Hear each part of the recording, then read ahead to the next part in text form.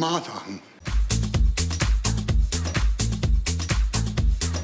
Al fondo hay sitios, señores, porque Antonia, como buena madre de Diego Montalbán, quiere darle una manito, quiere darle un empujón en la vida, pero no quiere dárselo por servido, ¿por qué no? Pues no es lo mejor, por supuesto, ya lo sabe. Entonces decía hacer un, un capítulo así tipo Titanic, ¿no? Se acerca a la piscina, tiene una joya muy valiosa ahí colgando de su cuello y sácate la que la lanza por ahí a ver si su hijito la encuentra. Veamos.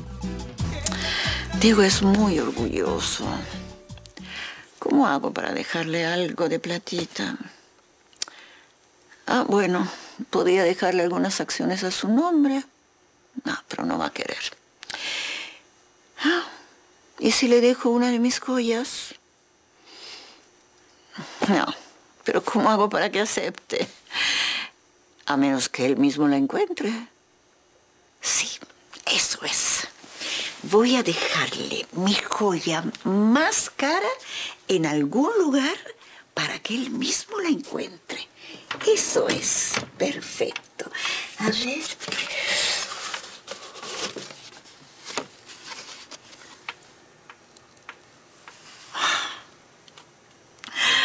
Ay, ha pasado tanto tiempo.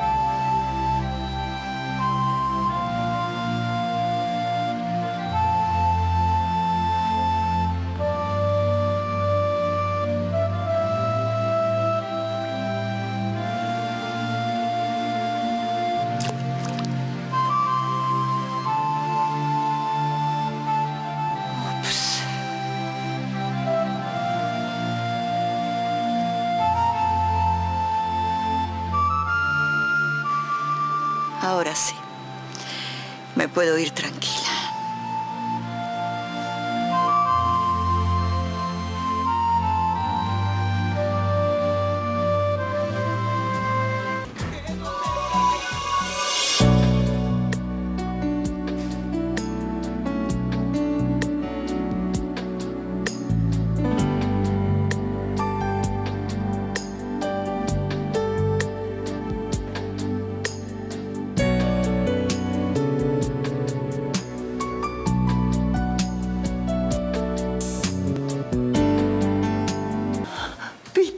Madame. Ay, Peter. Ay, te extrañé tanto, tanto. Y yo a usted. Apenas me enteré de la canallada. Tomé el primer avión y, aquí estoy.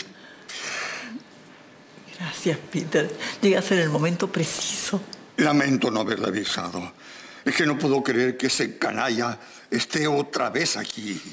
Y yo que pensé que me había librado de él, que me lo había sacado de encima. La rata es un animal muy resistente, madame. Me tiene acorralada en mi propia casa. Y yo sin un aliado. ¿Y Claudio? Claudio tira para los dos lados. Eso ya lo sé, madame. Me refiero a que atiende a los Montalbán y a mí de la misma manera. ¿Qué cosa? ¿Cómo se atreve ese Judas? No te preocupes, Peter. Acabas de llegar. Debes de estar cansado. Me dormí en el avión. Entonces tomemos desayuno juntos. Deja ¿Cómo tus no? cosas y vienes. Ya, cómo no, voy a dejar. Extrañé tanto, tanto.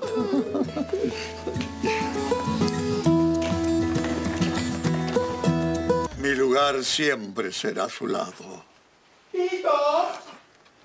¡Ay, Pito! ¡Pito! Cuando doña Francesca me lo contó no lo podía creer. Volviste, Pito, qué lindo.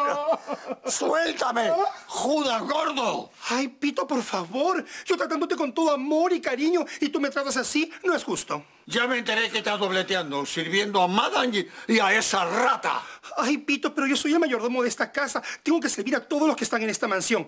¿Por qué? ¿Ella te ha dicho algo? ¿Me va a despedir? Agradece que es una mujer de noble corazón. No te preocupes, Pito. De hoy en adelante solamente la voy a servir a ella y a ti. ¿Está bien? Más te vale. Y también viene a avisarte que el desayuno va a estar servido en cinco minutos. Voy volando como un colibrí. Permiso.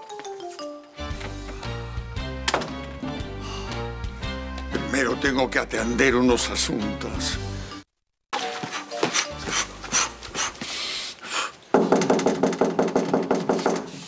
Debe ser Fran.